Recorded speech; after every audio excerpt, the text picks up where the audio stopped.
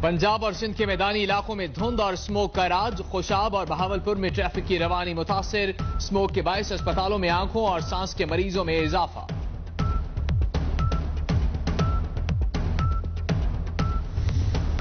مقبوضہ کشمیر میں بھارتی فورسز کی بربریت جاری، مزید دو کشمیریوں کو فائرنگ کر کے شہید کر دیا گیا۔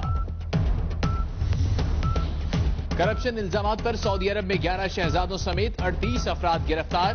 پکڑے جانے والوں میں شہزادہ ولید بن طلال بھی شامل۔ کاروائی ولی عہد محمد بن سلمان کی سربراہی میں بننے والی انسداد کرپشن کمیٹی نے کی۔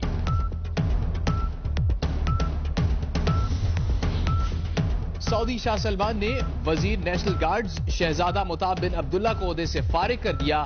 خالد بن عیاف نیشنل گارڈز کے نئے وزیر مقرر۔ سعودی امیر البحر جنرل عبداللہ سلطان بھی فارغ۔ جنرل فہد، نئے امیر البحر مقرر۔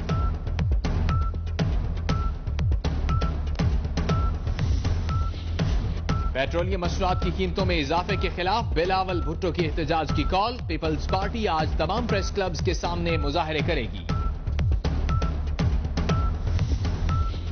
تحریک انصاف آج زوباڑوں میں جلسہ کرے گی۔ ایم کیم پاکستان، کراچی میں پاور شو کرنے کے لیے تیار۔ اور وزیر اعلی پنجاب شہباز شریف لندن سے لاہور پہنچ گئے۔ چھ روزہ دورہ برطانیہ کے دوران وزیر اعظم شاہد خاقان اور نواز شریف سے ملاقات۔